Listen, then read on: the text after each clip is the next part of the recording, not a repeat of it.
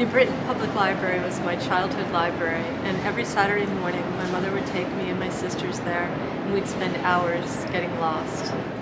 One of my favorite memories of going to the library was getting my library card, and the goal was to be able to print my name.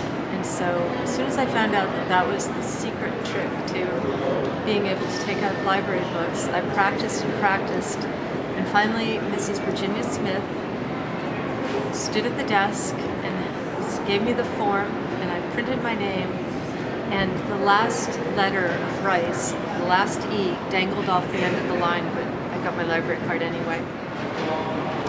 When I go to the library, I bring anyone that I happen to be with. One comes to mind, my niece Mia. Um, she was little, used to go to the Phoebe Griffin Noyes Library in Old Lyme, Connecticut. When she got a little older, she painted a whale an actual whale-sized sculpture um, to get to be auctioned off and to raise money for the library.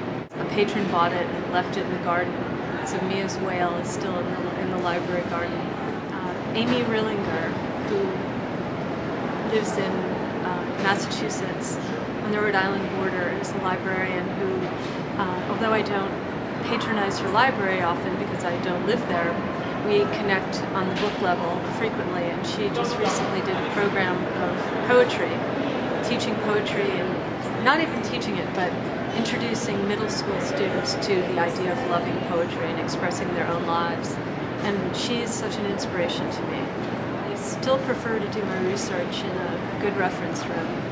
I, you know, find a carrel if there are carrels in the library, or sit at a reference table and just pore through the materials that are there. Um, I find it so much deeper and more satisfying than just Googling something. And I feel as if my research done in libraries stays with me much longer. Library budget cuts are tragic and so short-sighted.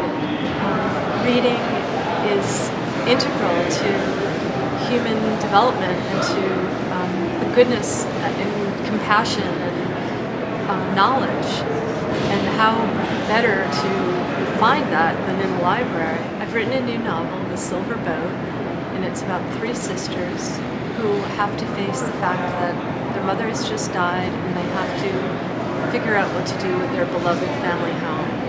And I feel as if that's an issue that too many of us have faced and I have in my own life.